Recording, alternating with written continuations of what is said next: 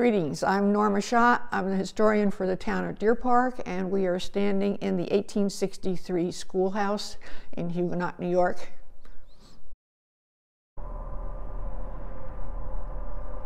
We're in front of the uh, Huguenot Schoolhouse. It is a brick building, soft brick clay made from local clay uh, near the Neversink River. You can see that in the top there's a diamond which states the year it was built, Huguenot AD 1863. And it is also the town historian's office and the Deerpark Museum. The building is also on the National Register of Historic Places.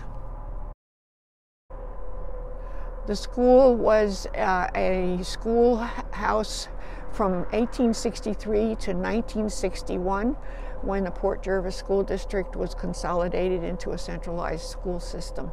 It was put on the National Register in 1997. All right, in 1863, there was one teacher.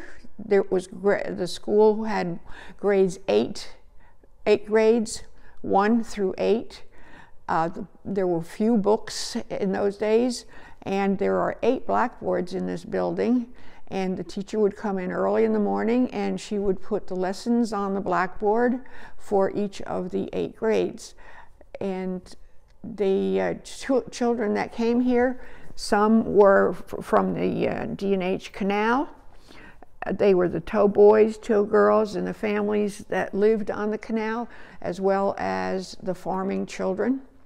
And at that time, making a living was a very important thing, and they needed the kids to do the work. So that it was not as it is today, where the children come from September until June. Whenever the work was done, the children came to school.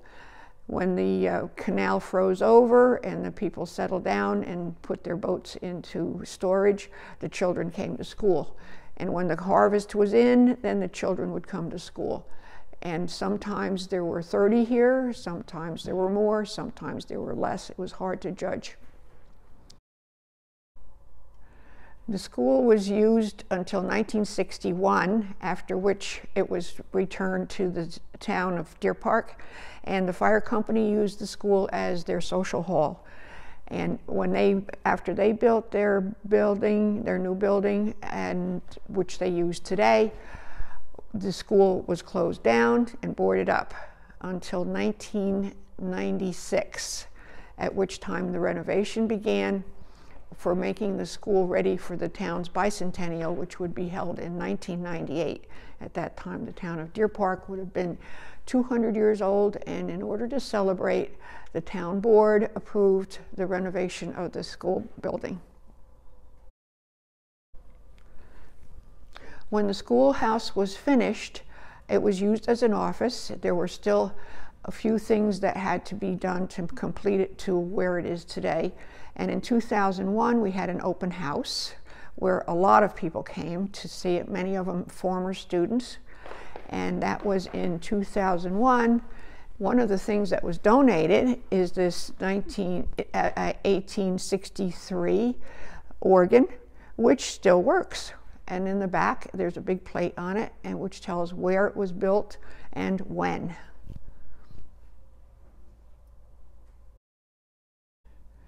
During the open house, when there were lots of people here and having cookies and enjoying the, the refreshments and telling stories, all of a sudden we heard some music and we looked and there was Ross Decker who was the uh, mayor of Port Jervis at that time and had been a student here, was playing the organ, and we realized that it was still working. Up to that point, we never had anyone who knew how to play it, and it was a wonderful uh, musical ending to a lovely day.